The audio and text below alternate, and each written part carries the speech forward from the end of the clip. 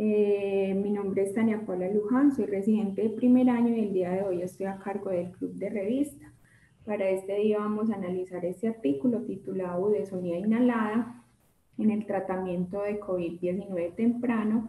Es un estudio controlado, aleatorizado, abierto, fase 2, publicado en la revista Lancet el 9 de abril del 2021. Entonces, primero les voy a dar como un contexto eh, de este artículo y para eso traje un caso clínico. Entonces, se trata de un hombre de 35 años con un antecedente de hipertensión arterial, consulta por dos días de fiebre subjetiva, astenia, adinamia y tos seca. El médico lo encuentra estable hemodinámicamente, con saturación adecuada y examen físico normal. Le sospecha COVID-19, le envía la prueba y, eh, y, tiene una prueba positiva. En ese momento enviado para su domicilio y él nos pregunta qué puede administrarme en la casa.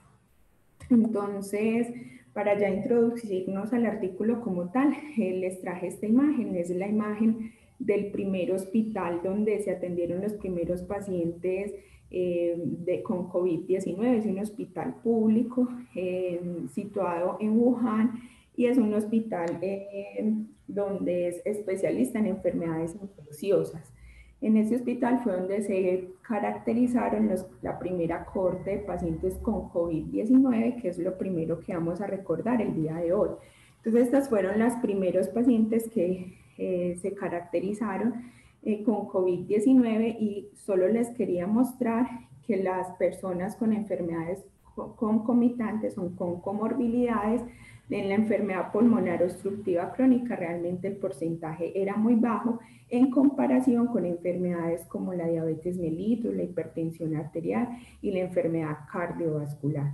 De igual manera, vemos como en estos 41 pacientes el primer tratamiento, el principal tratamiento fue terapia pues antibiótica porque igual pues no se conocía el virus y terapia antibiótica. Sin embargo, hasta un 46% de las personas con cuidados intensivos eh, recibieron corticosteroides, que aquí pues no nos mencionan qué tipo de esteroides. Posteriormente se hizo otra revisión de 1099 pacientes, entre esos pues los incluyeron los 41 anteriormente mencionados, y acá les vuelvo y les muestro cómo la enfermedad pulmonar obstructiva crónica hacía parte de un bajo porcentaje en comparación, como les dije, con la diabetes mellitus, con la hipertensión arterial y con la enfermedad cardíaca. Acá ya se mencionan que los corticosteroides sistémicos se utilizaron incluso hasta en un 44% de los que tenían enfermedad grave. Posteriormente ya en Italia ellos tuvieron un pico más o menos en febrero del 2021 y ellos tienen un grupo en, en este país que es un grupo solo con personas con asma grave. Entonces, este mapa lo que nos quiere mostrar son todas aquellas personas que tienen asma grave, pero en los círculos rojos, cuáles de esos eh, tenían COVID-19. Y vemos como, por ejemplo, en Lombardía, que hay aproximadamente 256 personas con asma grave, solo 9 presentaron eh, más de 5 casos por, pues, por habitantes, o, en este caso pues sería solo 9 personas. Eh, posteriormente ya en, en, Nueva York, ellos también caracterizaron su primera población que tuvo COVID-19 y como vemos el asma y la enfermedad pulmonar obstructiva crónica también era en un bajo porcentaje. Entonces todo esto llamó mucho la atención a los investigadores porque al comparar estas enfermedades con su prevalencia e incluso con enfermedades también con alta prevalencia como la diabetes mellitus y la hipertensión, no concordaban los que estaban infectados con COVID-19, o sea, había un bajo, una baja representación de ellos, eh, a diferencia de, otras enfermedades. Entonces, esto llamó mucho la atención de los investigadores, pero también se dieron cuenta que esto ya había pasado antes con infecciones como el SARS. Eh, como el SARS. Entonces aquí vemos eh, una de las como comparaciones que se hizo de pacientes con COVID-19 e incluso también pues con SARS, pero acá les quiero mencionar las de COVID-19 en China y vemos como la diabetes tiene incluso prevalencia hasta el 12% en estos pacientes, pero eh, el EPOC e incluso el asma no está representado y el EPOC en tan solo 1.4%. Sin embargo, es muy importante mencionar que a pesar de que tenían una baja representación en todas estas cortes, no quería decir que se morían menos. Cuando ya evaluaban la mortalidad de esas personas que se infectaban, vemos por ejemplo en este metaanálisis cómo tenían un OR de hasta 2.46 mayor veces de eh, morirse que los que no tenían esa comorbilidad. Entonces ellos se preguntaron, entonces parecen que se infectan menos, pero cuando se infectan sí se mueren más. Entonces empezaron a, eh, a crear hipótesis de por qué pudiera ser que se infecten menos. Entonces, una de ellas es que de pronto hay un bajo diagnóstico, un pobre reconocimiento de la enfermedad, pero ellos mencionaban que era baja esta probabilidad porque todos estos reportes tenían más o menos un porcentaje igual o también otra opción es que de pronto estas, personas con estas enfermedades tienen mayor precauciones porque igual saben pues que se pueden morir más, entonces se utilizan más el tapabocas, utilizan más el gel.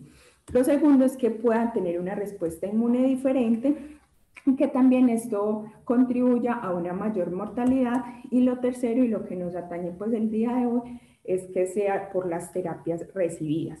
Digamos que en este momento hay una controversia muy grande porque la enfermedad pulmonar obstructiva crónica, ellos mismos mencionan que tiene diferentes tratamientos en diferentes países, a diferencia del asma, que en el asma sí hay como un tratamiento más generalizado a nivel pues mundial. Entonces les traje este primer, este primer estudio. Este es un estudio realmente en las cuales, ah bueno, entonces acá en, en terapias ellos dijeron que como la, asma tenía algo más eh, mundial, pues como eh, similar tratamiento, uno de ellos puede ser los esteroides inhalados. Pero esto no es nada nuevo. Aquí les traje uno de los estudios que se realizó realmente fue en SDRA, realmente no en SDRA, sino en personas con predisposición a desarrollar un SDRA.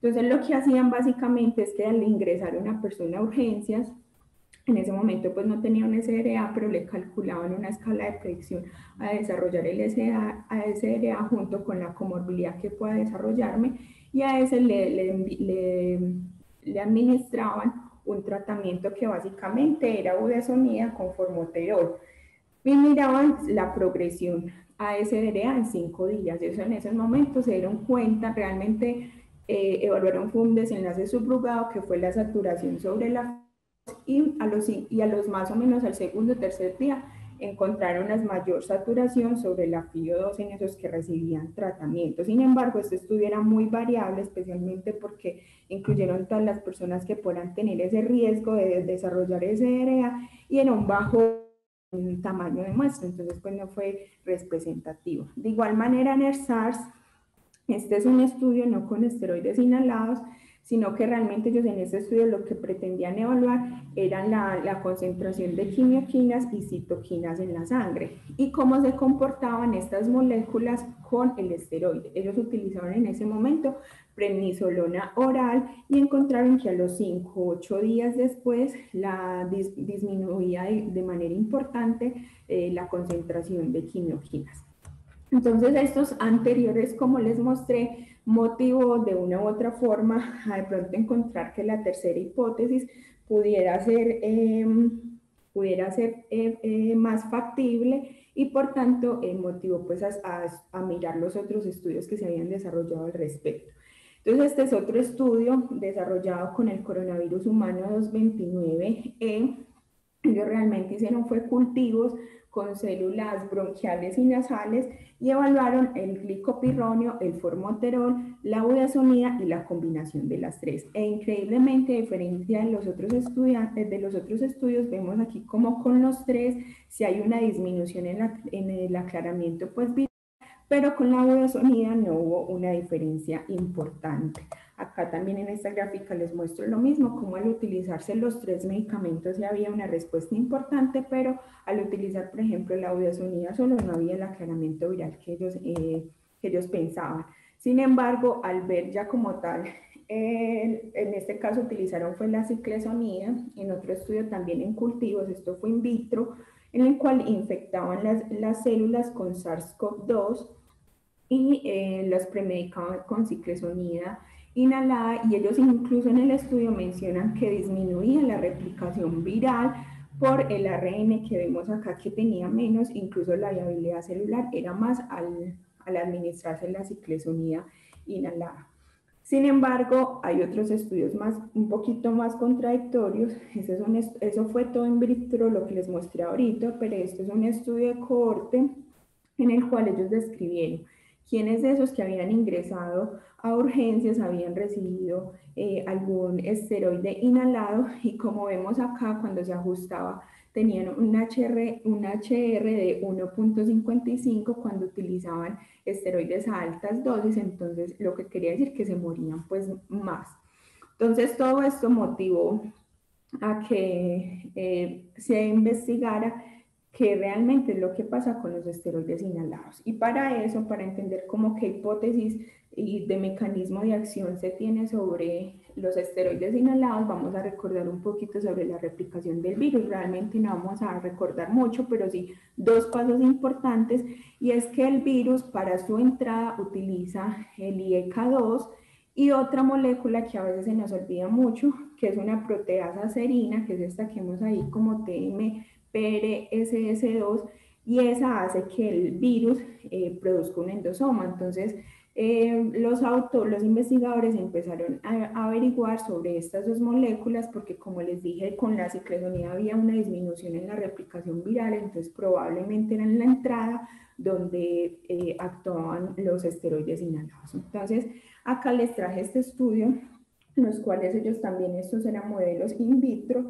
donde cultivaban las células y miraban el RNA de del IEK2 y de la segunda molécula que es eh, la proteasa de serina y encontraron que en las personas que no tenían esteroides inhalados o no se les administraba tenían mayor expresión de ese RNA y a, eh, a, diferencia de los que no utilizaban esteroides inhalados, pero no había una diferencia importante con respecto a la proteasa de serina, entonces pareciera que si actuara más era la disminución de los receptores del IEK2. De igual manera, como les dije, los pacientes con enfermedades pulmonares crónicas parecen que se mueren más cuando se infectan y ellos también encontraron acá que lo que podría pasar es que ellos expresan más esa, ese receptor que es el IEK2, como vemos acá las personas con EPOC tenían mayor expresión de ese RNA. De igual manera, ellos encontraron que el interferón tipo 1 pareciera modular esa expresión del receptor del IEK2. Entonces ellos lo que hicieron fue que en ratones mutados con el receptor del interferón 2, lo sometieron también pues al estudio y a, eh, infección y encontraron que ellos parecieran que tienen menor expresión del IEK2, lo que apoyaba pues esta hipótesis. Entonces en conclusión tenemos que los esteroides inhalados en, en, en personas eh, con EPOC o en personas incluso sanas pues no, no se sabía en ese momento también parece que suprime el interferón tipo 1 y al suprimir el interferón tipo 1 disminuye los receptores del IEK2 y de esta manera pueden como proteger a la infección con el SARS-CoV-2.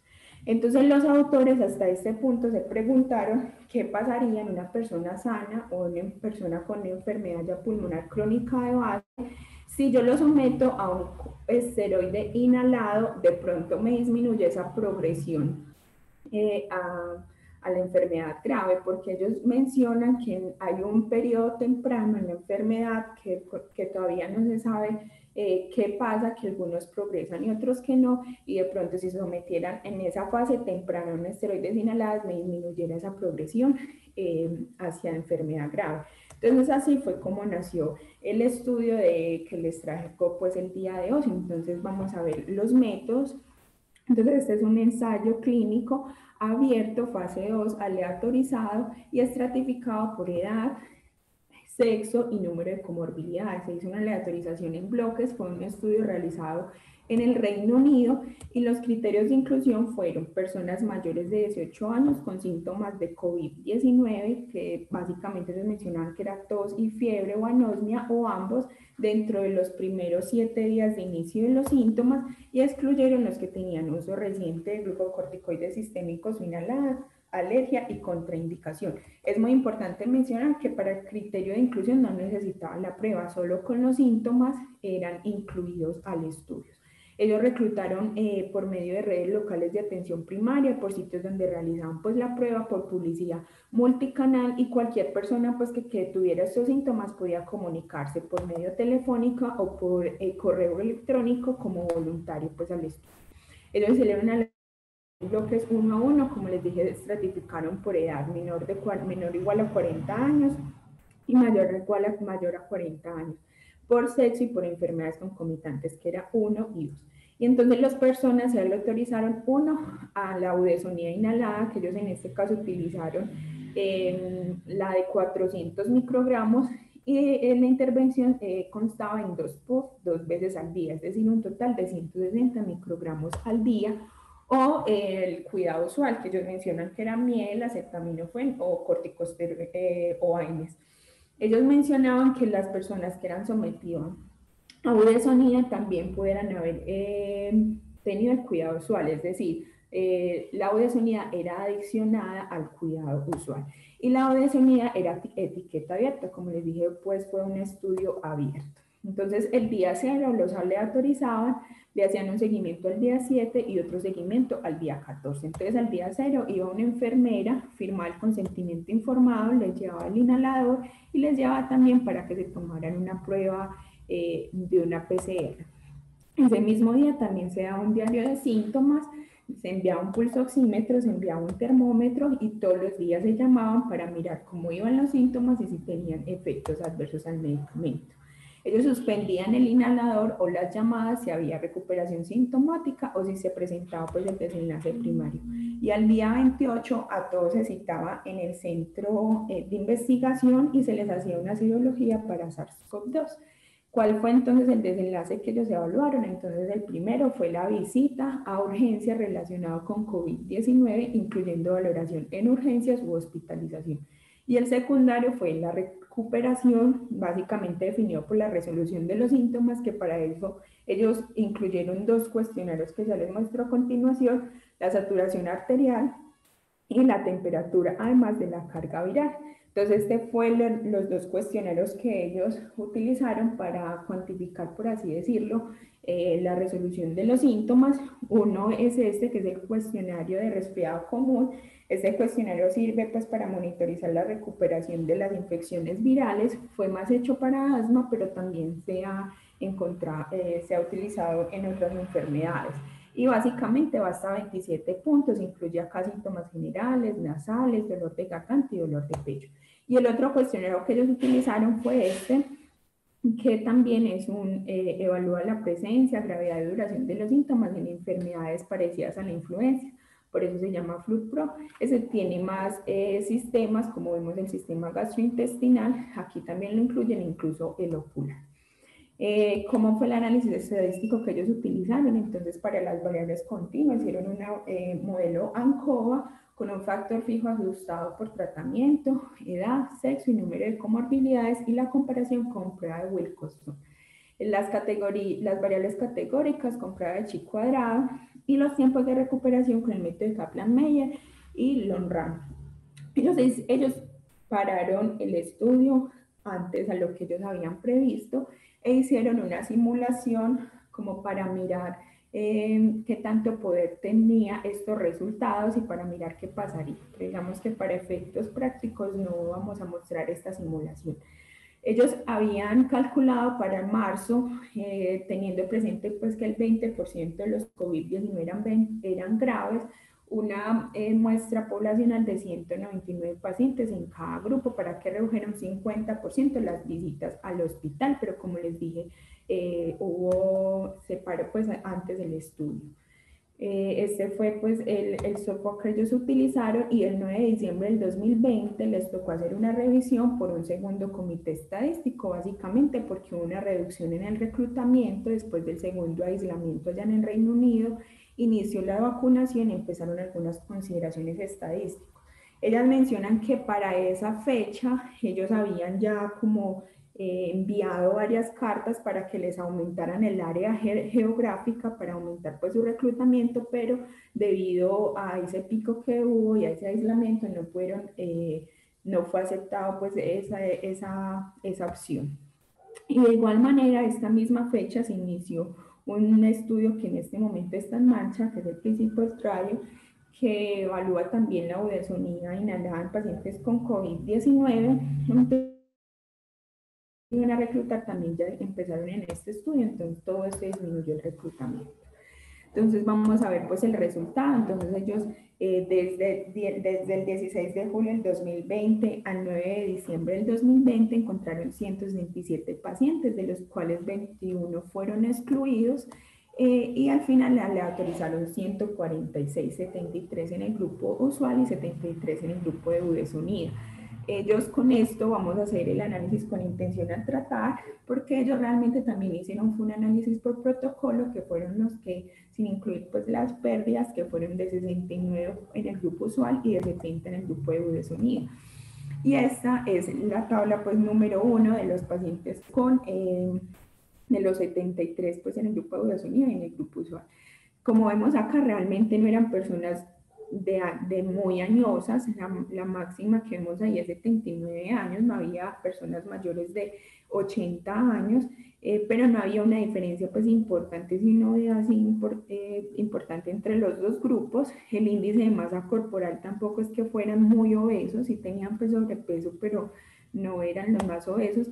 Lo mismo que el número de comorbilidades máximo eran dos.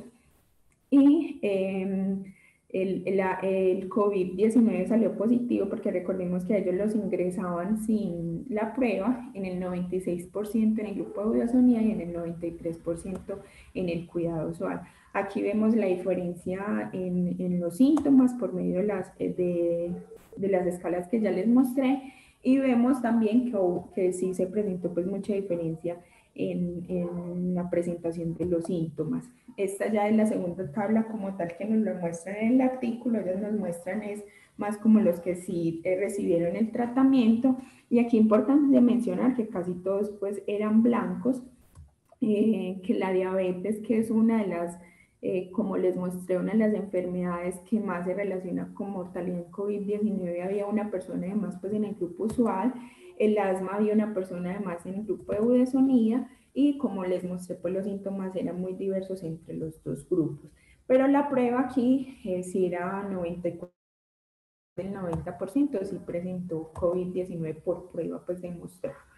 Entonces, ahora sí vamos a, a, mostrar los resultados del desenlace primario, que como les dije, era hospitalización o consulta pues a urgencias. Entonces, presentaron 11 del cuidado usual y dos personas del grupo de budesonía para una diferencia de proporciones de 0.123 con un intervalo de confianza que pues, fue significativo. Ellos también hicieron análisis por protocolo que fueron 10 del grupo de cuidado usual y uno de budesonía también con diferencia importante.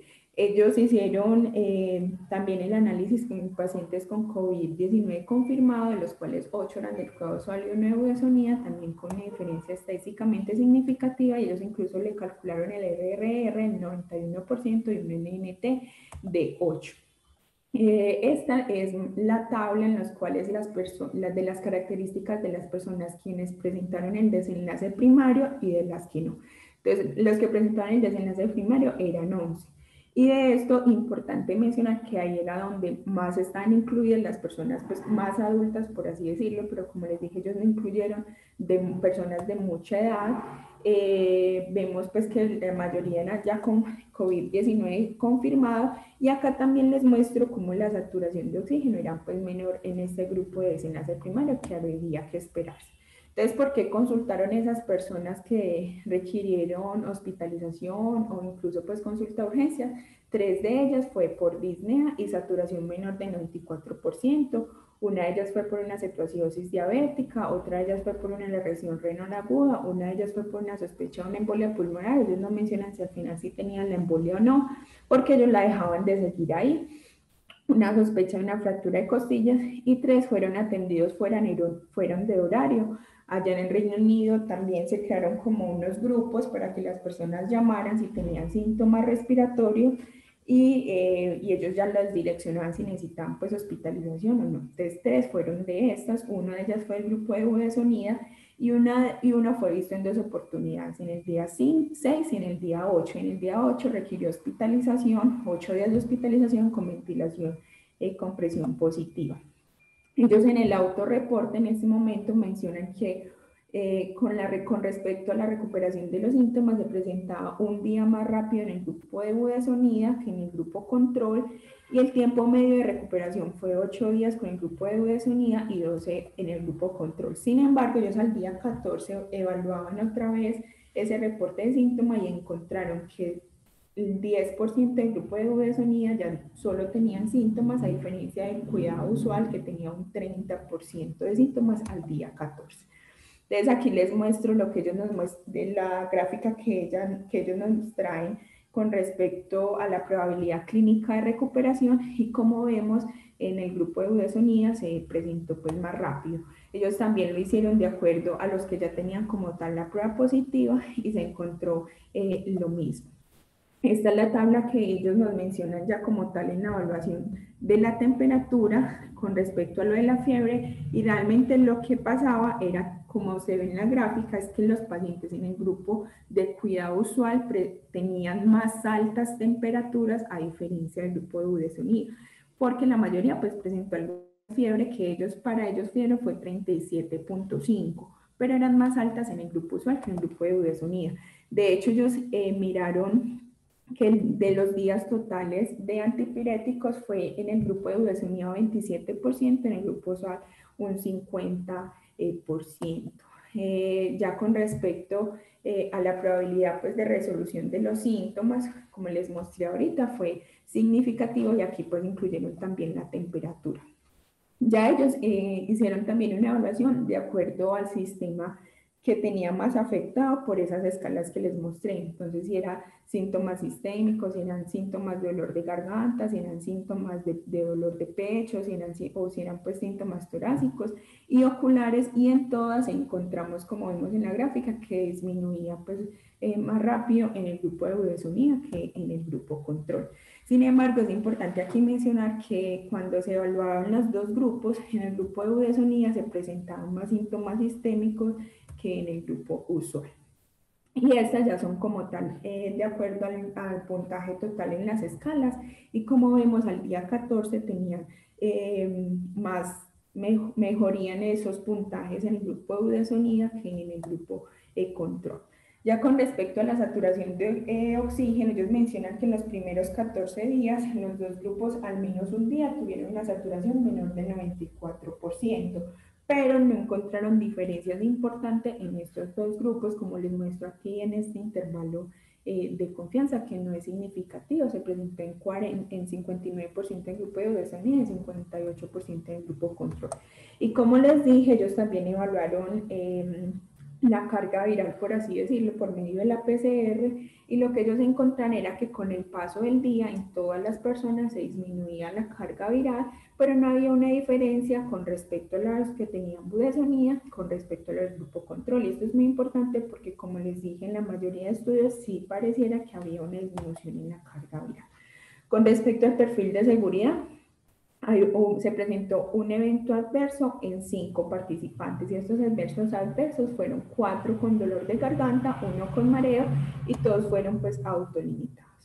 Entonces, de acuerdo a como les mostré anteriormente, ellos mencionan que la budesonía inhalada por corta duración podría ser un tratamiento efectivo en COVID-19 temprano, con una reducción de riesgo del 91% en las visitas médicas y hospitalización eh, que pudiera ser como comparativo a la vacuna y, em, y disminuir eh, mayor pues, medicamentos en la hospitalización porque disminuye el número de consultas. Ellos encontraron una incidencia del 14% de ingreso a hospitalización con COVID-19, que menciona que es muy parecido a lo que se ha encontrado.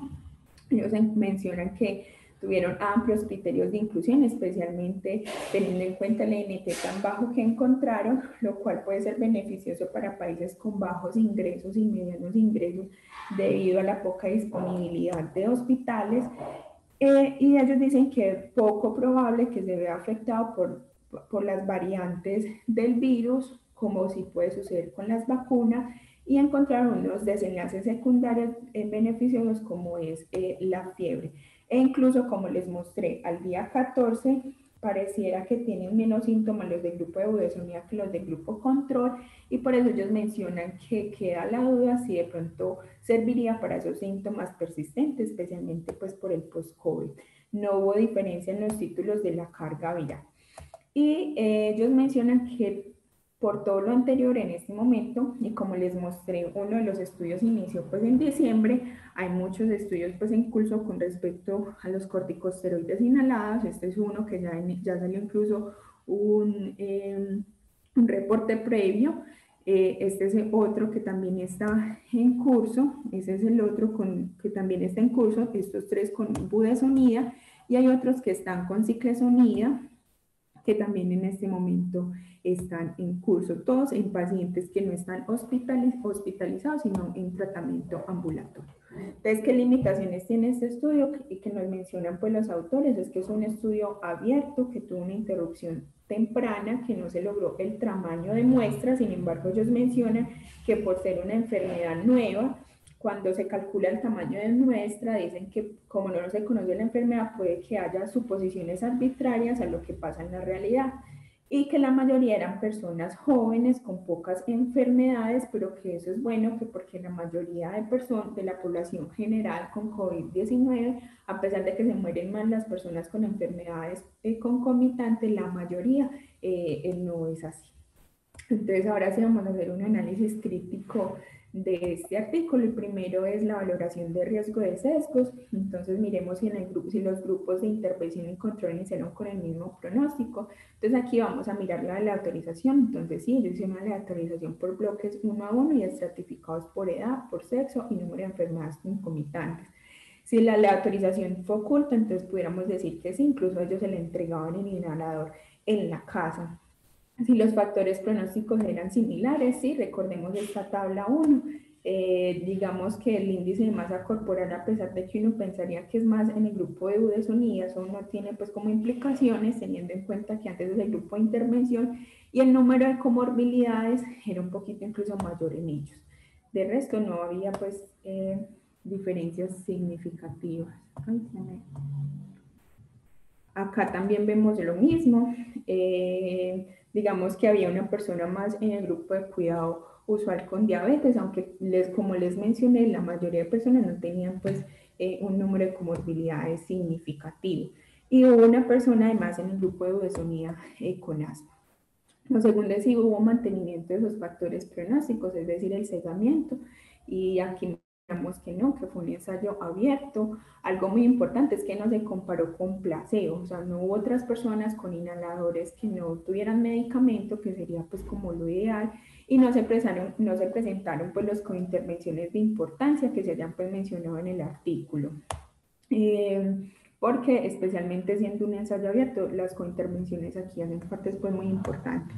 Ahora vamos a evaluar eh, las pérdidas, entonces con respecto a las pérdidas se presentaron eh, ocho, eh, ocho, en el grupo de cuidado usual y cuatro en el grupo de udesonía, y si digamos que haciendo los cálculos de que todos estos ocho presentaran el desenlace, se crearía aquí un 19 y acá crearía un 6 teniendo en cuenta que se presentaron 2 en uno y 11 en el otro. Y si uno hace los cálculos no hay una diferencia pues eh, significativa con respecto al RR, al OR, incluso em, en este, y como vamos a ver más adelante, yo les voy a mostrar más o menos cómo queda de diferencia, pero no es significativo.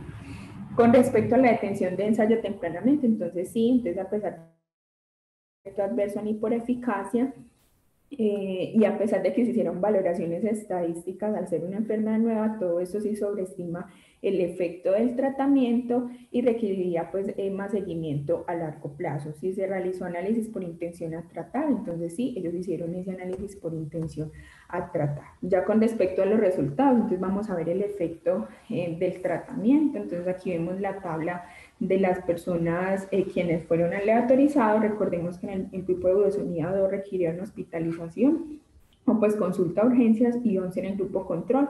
Y al calcular obtenemos un RRA de un 13%.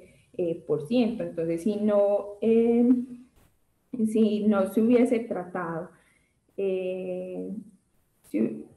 si no se hubiese tratado, entonces, No, entonces en el grupo control, más o menos el riesgo es de un 15%, ¿cierto? Las, los estadísticos. Y en el grupo de budesonía, un 2%. eh, y el RRA, al restar estos dos, da un 13%. A diferencia de con el, con, el, con el de las pérdidas, que más o menos da como un 17%. Entonces, eso lo que nos quiere decir es que si no se recibe tratamiento, eh, hubiese administrado budesonida, se hubiese disminuido la hospitalización hasta en un 13%. Y un RR, un RR de 0.13, lo que quiere decir es que disminuye la probabilidad de hospitalización al administrarse budesonida hasta en un 87%, que es el RRR que ya nos da acá 87%. Recordemos que ellos decían que un RRR de, de 91%, pero fue porque ellos hicieron esos cálculos con los de con los análisis por protocolo, es decir, con esos 69 y con esos 70, pero al hacerlo por análisis con intención tratar, 87%. Lo que nos quiere decir es que 87% no se hospitaliza sin se recibe la budesonía. Y un NNT con estos cálculos de 8, es decir, que por cada 8 que tratemos, eh, se, uno, se, uno pudiera no requerir hospitalización o consulta eh, al médico. Vamos ahora sí a mirar la predicción de estimación del efecto. Entonces, para eso vemos los intervalos de confianza. Mm, y acá vemos que el intervalo de confianza es significativo. ellos hicieron una diferencia de proporciones, en lo cual lo que vemos en el intervalo de confianza es el cero, que no está pues incluido.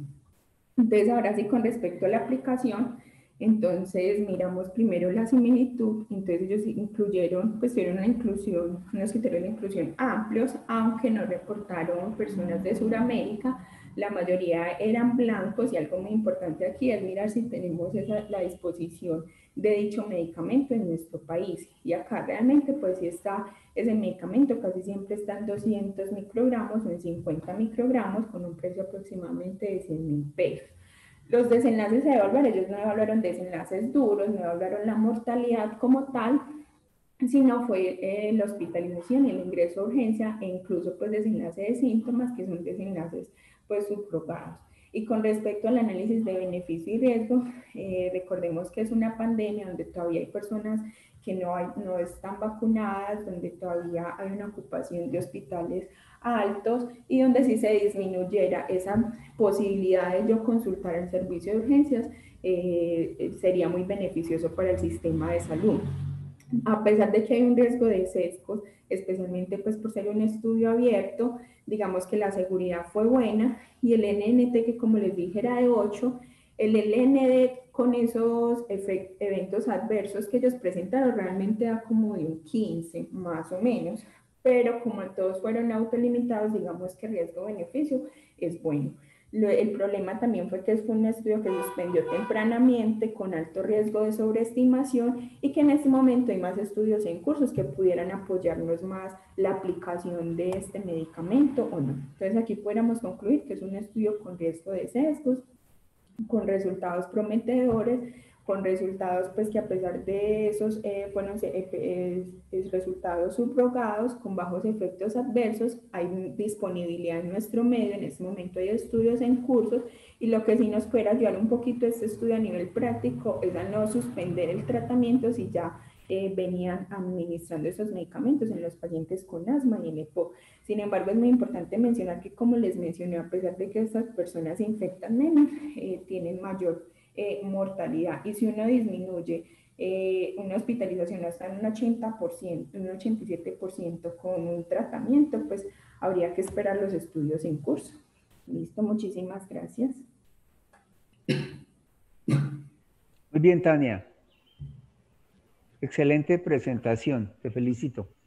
Sobre todo me pareció muy importante la introducción que haces porque uno creería que con lo que sabemos hasta ahora del virus parecería un poco contraintuitivo el inicio de esteroides temprano en la evolución de la infección, aunque sean esteroides inhalados.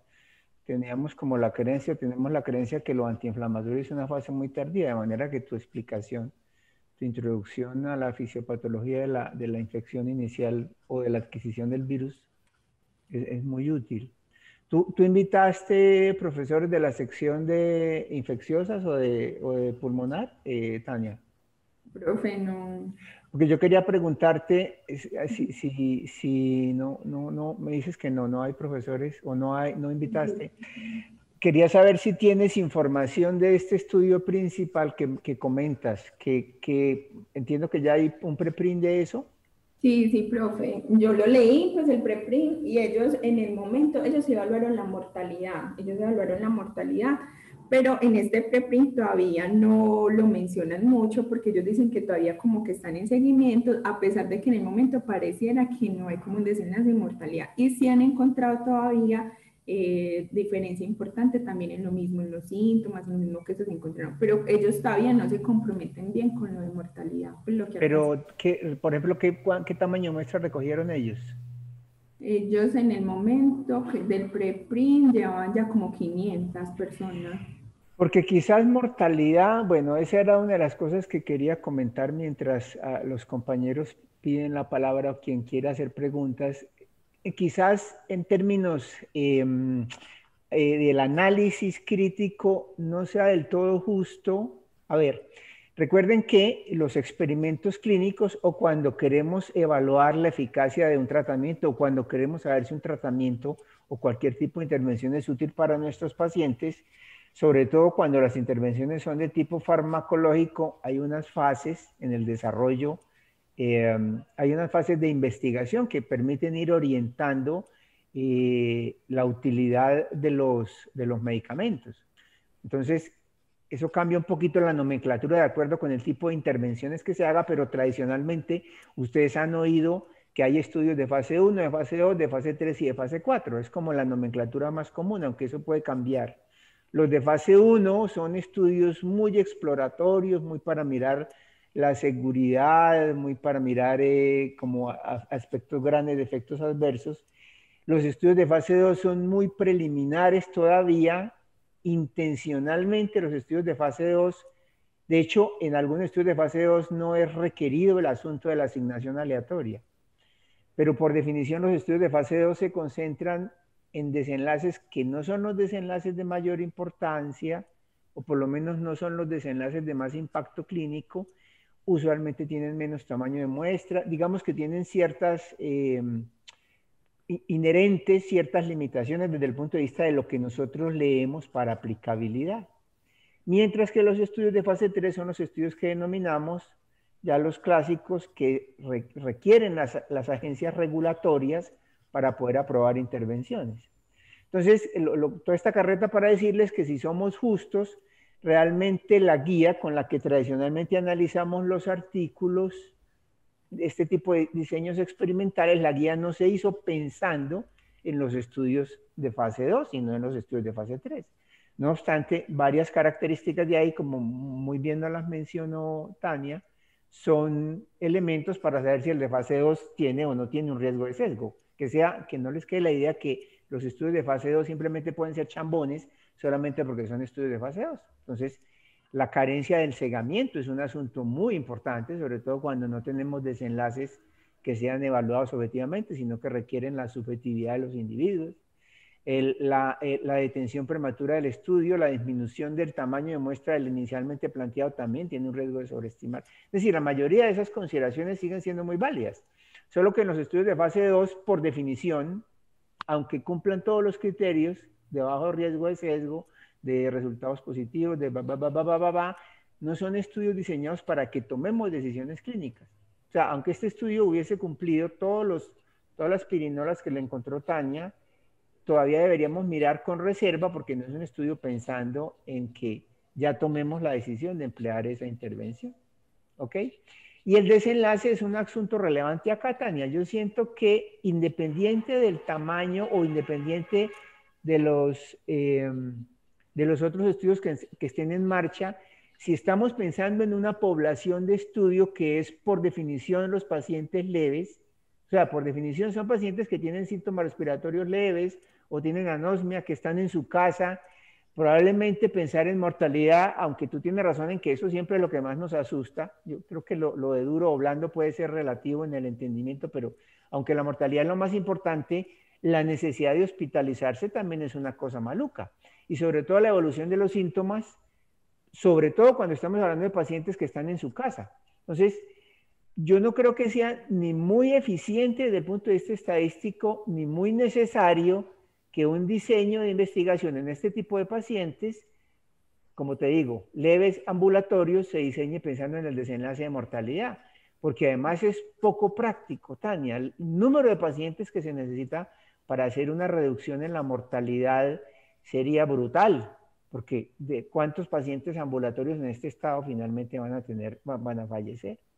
Más bien, lo que a mí sí me parece que es muy importante y lo mostraste muy bien en la, pon nuevamente por favor los 11 pacientes que tuvieron desenlaces en el grupo de, mm, de tratamiento de control. Lo que sí me parece muy importante, no, donde hace la caracterización de los desenlaces, lo que sí me parece muy importante es precisar la necesidad de hospitalización, o mejor, que la necesidad de consulta por urgencias vaya pegada, ahí ya, ya, ya lo pasaste, vaya pegada de síntomas o de, o de condiciones relacionadas con la enfermedad que estamos tratando, porque es que mira que de los pacientes hospital o de los pacientes que consultaron por urgencias había una situación diabética descompensada, una lesión renal aguda que no sabemos si se la podemos achacar una sospecha de embolia pulmonar, una sospecha de fractura de costillas, entonces, quizás un desenlace muy importante sería necesidad de urgencias, necesidad de consulta por urgencias, por síntomas relacionados o con problemas clínicos relacionados con la infección que estamos tratando. Porque ahí sí parecería, si, tú, si digamos asumimos que las fracturas de costillas no tienen que ver con el COVID, pues lo mismo con la embolia, con esas otras cosas, necesariamente la eficacia se va a reducir, ¿ya? Porque son mucho menos pacientes los que van a tener la posibilidad de que su o los que vamos a poder decir que se han limitado sus síntomas por la intervención que estamos haciendo. ¿De acuerdo, Tania? ¿Sí me entiende la jugada? Sí, creo Bueno, el doctor Atencia está por acá. Adelante, doctor Atencia. Eh, ¿Cómo están? Eh, gracias, Tania. Muy buena presentación, muy clara, muy concisa. Eh, el, yo estoy de acuerdo con los, digámoslo así, conclusiones que usted dice el estudio tiene una muestra pequeña y yo no sé si por la precisión de sus resultados también nos, nos quede difícil confiar en, ellos. Mm, el riesgo de sesgo lo representan en el estudio el hecho de que los pacientes tenían una intervención que no era eh, cegada y por eso las cointervenciones y la adjudicación del desenlace, un desenlace de entrada un poco subrogado a lo que uno quiere ver en COVID, eh, hacen que haya riesgo de sesgos e inexactitud en el estudio. Y la precisión, pues imagínense que, eran tan pocos pacientes que tuvieron que, que, estratificar por centro, edad y otras cosas para que por mero azar no quedaran eh, muchos en un grupo o en el otro. Entonces, son resultados prometedores, pero aún, aún veo uno en las grandes series de COVID la subrepresentación que tienen los pacientes de POC. Se pregunta uno si de pronto ellos estarán más protegidos, quizá con un RCT más grande, eh, con desenlaces más fuertes y, con, y con eh, estrategias para cegar o enmascarar a los pacientes, podamos confiar más en esta intervención que por ahora, pues, eh, con mucha reserva utilizaríamos. De pronto, profe, en el público está el doctor Gustavo Gómez, que sí, que es profe de la sección de neumología, eh, obviamente estaríamos encantados de escuchar al profe. Muchas gracias. Ah, fantástico. Gustavo, adelante, tiene el micrófono abierto, hermanito, gracias. Buenos días. Eh, pues no, no tengo como mucho más que agregar a lo que ya han mencionado. Nosotros todavía no lo hacemos pues de forma rutinaria. Eh, la intervención, la molécula sí está en Colombia, no tenemos esa presentación, ese gramaje del, del, inhalador, pero tenemos otras presentaciones de otros gramajes diferentes y hasta presurizados. Eh, pero la presentación de 200 en polvo seco en Colombia eh, no existe sola.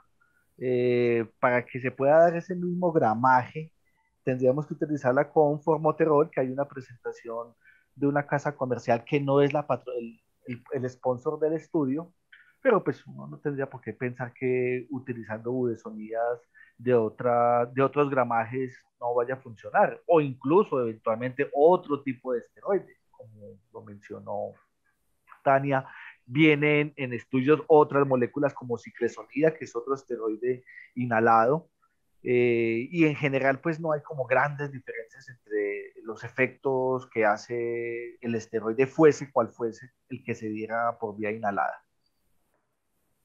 Y Gustavo, yo sé pues que con esto es muy, muy, muy eh, em, apresurado, pero digamos con la experiencia en el uso de los esteroides en EPOC o en asma, las diferencias potenciales en la presentación, si, si, si es aerosolizado, si es micropulverizado, ¿qué, qué, han, ¿qué experiencia han visto ustedes en la tolerancia o en el probable desarrollo de síntomas de los pacientes?